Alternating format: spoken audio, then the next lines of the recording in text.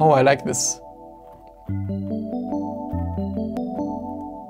In this video I want to show you how you can create some electric piano sound with Operator in Ableton Live.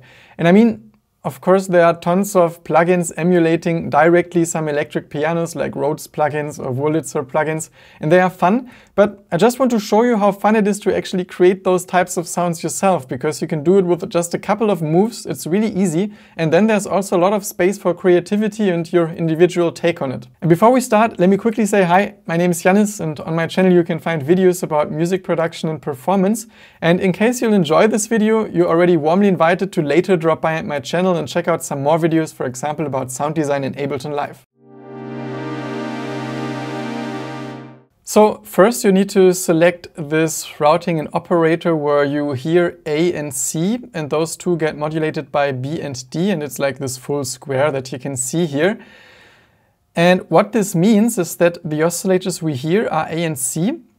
And for example, when an A is the only one that is selected right now, it has this kind of simple envelope, nothing special, mm-hmm. reacting a bit to the velocity, that if we add a second oscillator that modulates A, because here you can see it's happening in this routing, we get some nice tonal color, which really sounds like this electric piano type thing that just opens a little the sound a little brighter, which is really cool and which you can do by just adding a simple envelope that also stays higher because otherwise the, the sustain is lower. We just get those initial hits. Like this we kind of keep the timbre and you can fine tune it to wherever you like it. But that's so great about Operator that it's very visual and you can also play with the coarse because it gives so many interesting tones. Sounds a bit like in some elevator. It really quickly becomes metallic. Which is kind of cool. I mean, again, I just want to show you how many different sounds you have. And this is just the first oscillator. I mean, here it's in some simple setting. And the second oscillator I just used for creating some additional tones and in this case some type of metallic tone as you can hear.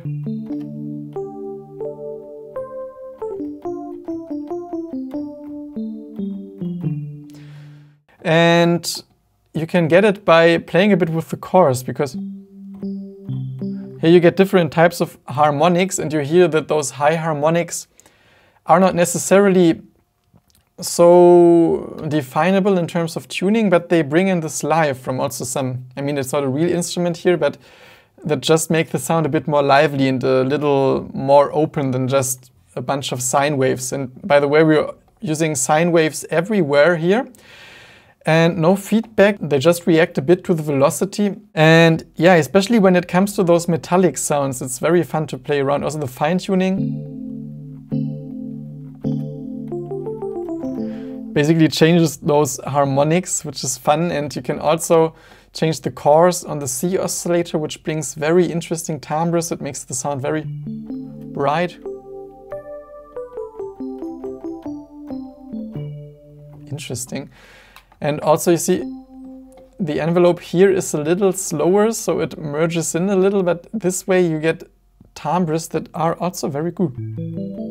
Oh, I like this.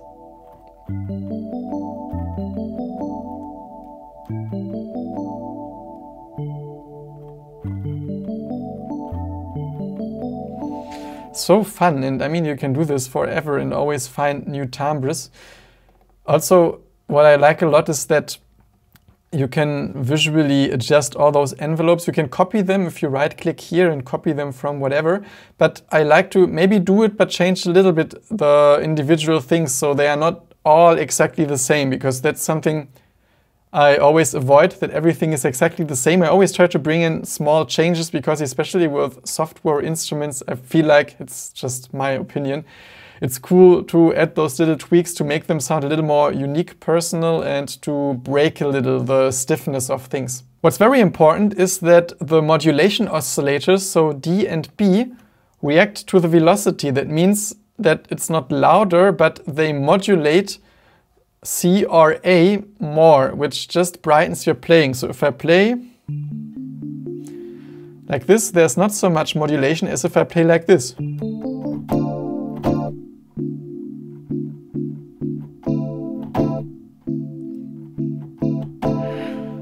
And also I like this a lot because I never like if it's only velocity responsive. I mean, it has to be velocity responsive, but not too much. And the dynamics have also, or the dynamics should also come from the filter response. But here, I mean, the filter is selected, but it's completely open and no envelope applied. So we can also perfectly deselect it and there's no change in sound because we do all the shaping with those modulations. So you kind of emulate a filter response with the modulation amount. And also here you can edit. You see I also edited under the modulations here, like volume B uh, is affected by velocity, volume D, actually a lot, but still it feels cool. And also the keyboard tracking. So for example, if I play a lower note and a higher note, you see, although I played them with the same velocity, the higher note was reacting more because there's keyboard tracking applied and the same it's the same like filter keyboard tracking at other synthesizers, for example, like a classical subtractive synthesizer.